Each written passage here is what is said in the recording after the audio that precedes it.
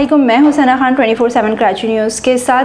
बात करेंगे ईद उल अज़हा के हवाले से। जी बिल्कुल एक दिन बाकी है ईद उल अज़हा में और लोग जो हैं, कुछ लोग ऐसे हैं जो मंडियों का रुख करते हुए हमें नज़र आ रहे हैं। कुछ ऐसे हैं जो अपनी जो अपने जो जानवर उन्होंने पिछले साल लेकर आए थे वो और उन्होंने पाला उसको और पालने के बाद जो है कुछ मंडियों का रुख किया है कुछ लोगों ने और कुछ लोग जो हैं वो इसको जो है अपने कुर्बानी के लिए जो है लेकर आए हैं, जिन्होंने छत पे अपने जानवर को बाँध रखे थे, वो लोग नीचे लेकर आ चुके हैं।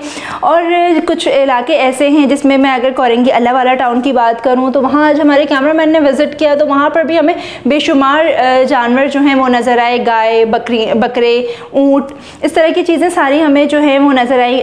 बात अगर दूसरे दीगर इलाकों की की जाए तो वहाँ पर भी जो है वो ईद अज़ी की तैयारियाँ जो हैं वो पुरजो जोश अंदाज में चल रही हैं।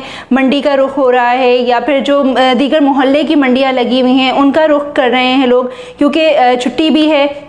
तो छुट्टी के हवाले से भी मंडियों में जो रश देखने में हमें नज़र आ रहा है, वो बनस्बत दूसरे दिनों के, क्योंकि अब एक दिन बाकी है और एक दिन बाकी रहने पर आपको भी पता है कि कुछ, अगर ख़वान मार्केटों का रुख करती हैं तो मर्द हरजात जो हैं वो मंडियों का रुख करते हुए नज़र आ रहे हैं।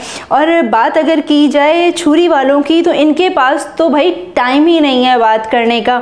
हमारे कैमरामैन ने बड़ी कोशिश की कि इनसे बात कर सकें, लेकिन इन्होंने साफ़ मना कर दिया, जी, हमारे पास टाइम नहीं है, सीज़न है हमारा। तो अगर अगर बात की जाए चटाई वालों की या टोकरी वालों की तो भाई किसी के पास टाइम बिल्कुल नहीं है किसी से भी बात करने का। उनको, उनका, उन लोगों का ये कहना है कि हमारा सीज़न है और हम सीज़न के टाइम पे हम किसी से बात नहीं कर सकते और हमारे पास इतना टाइम ही नहीं होता कि हम जी, अगर बात की जाए बरसाती कसाईयों की तो गलत नहीं होगा। बरसाती कसाई भी जो हैं, वो इस वक्त आ चुके हैं मैदान में। और ये हमें नज़र आ रहे हैं, अगर आप आप मेरे साथ वाली स्क्रीन पर देखें तो यहाँ पर जो है वो छुरियाँ तेज़ करवाते हुए भी नज़र आ रहे हैं। और पहले से जो है, इनकी बुकिंग जो है, वो स्टार्ट हो जाती है। जो वाकई कसाई हैं, वो तो उनके पास तो टाइम ही नहीं होता। ईद के तीन दिन तो आप उनसे बात ही ना करें। लेकिन जो मौसमी कसाई हैं, जो बरसाती कसाई हैं वो जो है, वो इस वक्त हमारे सामने हैं, जिस तरह से वो बैठे हुए अपनी छुरियाँ तेज़ करवा रहे हैं।